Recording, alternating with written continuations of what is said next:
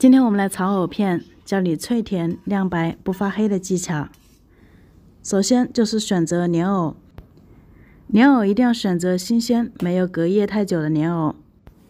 两头的藕节一定要在上面，要不然里面会藏泥沙。炒藕片的话，还是要这种新藕炒出来才会好吃。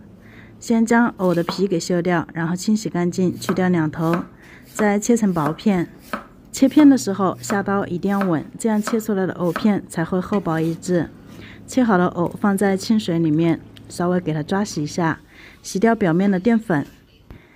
这样洗过的藕片口感会更加的清脆。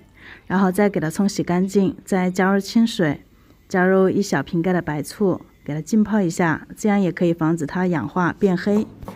一小节生姜给它切成末，半个红辣椒切成丁。切好之后，分开放进碗里面，然后再来调一点料汁：一小勺食盐，一小勺白糖，加入一小勺淀粉，然后再加入四勺的白醋，加入小半碗的清水，将它们搅拌混合均匀，然后将藕片控干水分，烧锅开水，水开之后下入藕片，煮至半透明，大概需要半分钟左右，然后捞出，放一旁控干水分。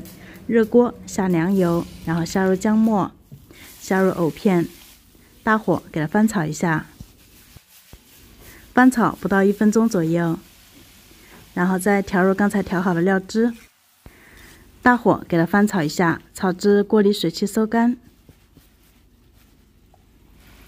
然后再加入红椒，将它翻炒均匀就可以出锅啦。